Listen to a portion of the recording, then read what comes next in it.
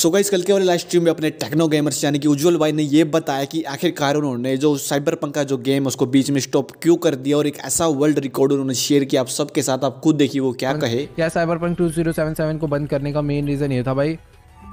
मैं या तो उसे रिकॉर्ड कर सकता था या खेल सकता था। और मेरे को गेम अगर मैं एक बार हाई ग्राफिक पे खेल लेता हूँ तो मेरे को लो पे खेलना बिल्कुल पसंद नहीं है। मतलब एकदम फुल तगड़ा पीसी होने के बाद भी वो गेम ना ऑप्टिमाइज नहीं थी यार ज़्यादा। मतलब अगर उसे रिकॉर्ड ना करो तो बहुत अच्छे से चल रही थी। बट जैसे मैं गेम खेल रहा हूँ, मैं क्या कर रहा था? गेम भी फुल क्वालिटी पे खेल रहा हूँ रिकॉर्ड भी फुल क्वालिटी पे कर रहा हूँ। तो कहीं ना कहीं फिर जब आउटपुट आ रहा था ना रिकॉर्डिंग का, वो लैगी लैगी आ रहा था। और ऐसा मेरे साथ दो तीन बार ही हो गया। तो मेरे को फिर वो वाला पार्ट दोबारा रिकॉर्ड ये सब बहुत झमेला हो गया, परेशान हो गया था मैं। तो मेरे को लगा जब ये ऑप्टिमाइज हो जाएगी ना सही से गेम तब करेंगे। बट फिर उसके बाद रह ही गई भैया वो कहीं ना कहीं। पर मज़ा बहुत आ रहा था। जब फिर वो मरा ना अपना, जो उसमें दोस्त था तब बड़ा दुख हुआ था।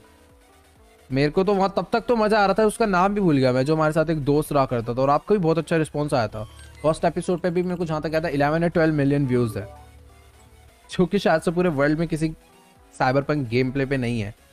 जो कि साइबर पंक वालों ने डाला, उसको छोड़ के। मतलब नेक्स्ट लेवल यार, जबकि हिंदी सिर्फ़ इंडिया में चलती है तो इससे पता चलता है इंडियन ऑडियंस भी फुल नई गेम्स को देखना पसंद करती है, ऐसा नहीं है। पहले बहुत